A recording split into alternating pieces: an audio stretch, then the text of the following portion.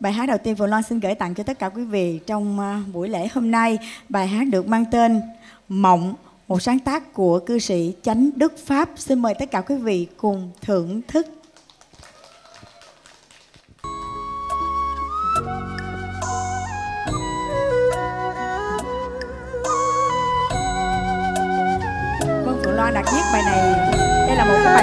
Bài của Hòa Thượng Thích Thanh Từ. Vâng, cho nên chánh là cư sĩ Chánh Đức Pháp đã phổ theo bài thơ đó của Hòa Thượng mà viết lên bài ca phổ này.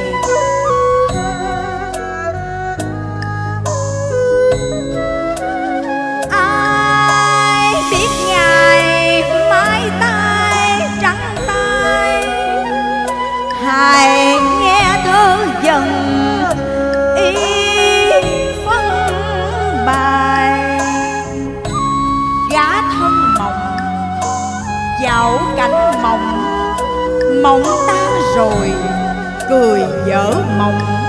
Hết mê say.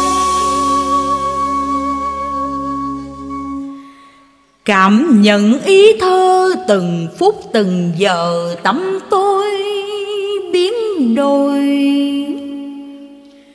Hòa quyện với tiếng đàn tôi ca bài giống cô gửi cách trần ai đang cùng tôi đi trong biển khô sông sâu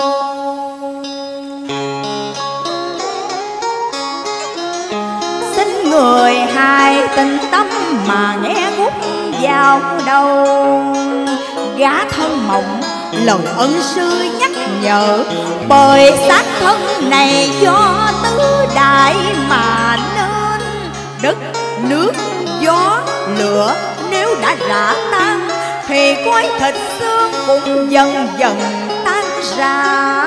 Có giấc mộng nào lâu dài yên ả có thân xác nào mãi còn theo năm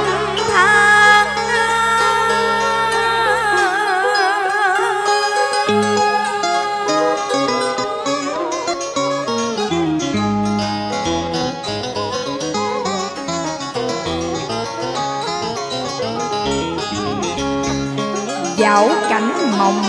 Nếu như ta quán tưởng cảnh sắc có mênh mông, nhưng cùng già tạm trong đời.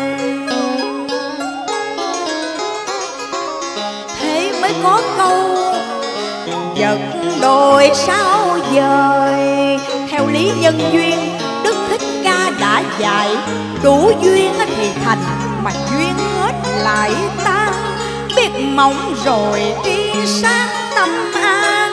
Sống trong mộng nhưng không khổ đau vì mong trơn cảnh mất còn lòng không sao động.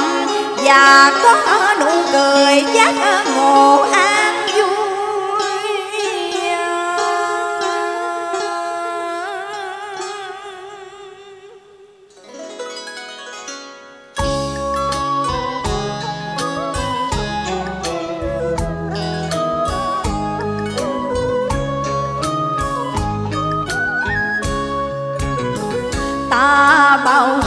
đời cho mê mờ bùa văn để vô minh che lấp chân tâm mình.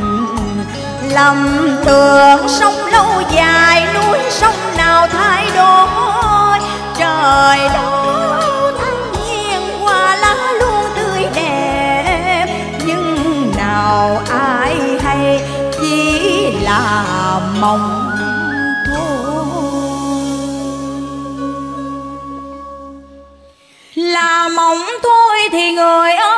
đừng bận tâm chi đến Chuyện thịnh suy vinh nhục. Đời ta có rơi vào cảnh trong ngay đục điều do nhân xưa mình đã gieo trồng.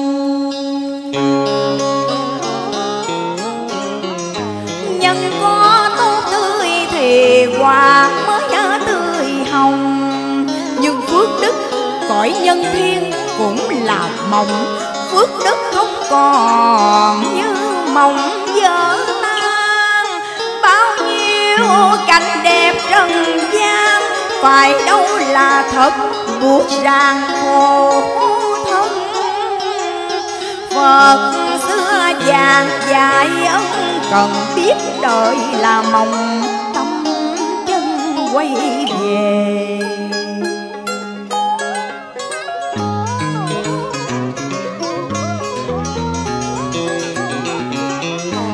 Tâm chân như không hình, không bóng, không sắc màu, nhưng diệu dụng làm sao?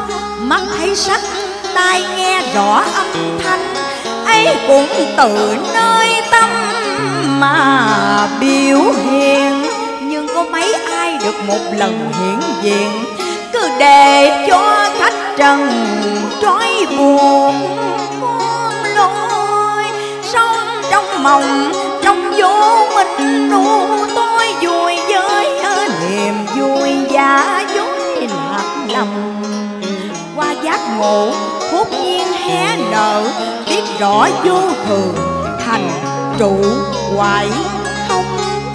Nay ghi lời mộng, nhân cùng khách mộng, biết mộng rồi hai tính mộng đi. Nghệ sĩ nhân dân Phượng dạ, Loan. xin thành cảm ơn cảm ơn những tràng pháo tay khích lệ của tất cả quý vị rất nhiều à xin cảm ơn. Dạ mình vỗ tay lớn hơn nữa được không ạ? Xin cảm ơn nghệ sĩ nhân dân Phượng Loan rất nhiều. Mô vợ con cảm ơn thầy ạ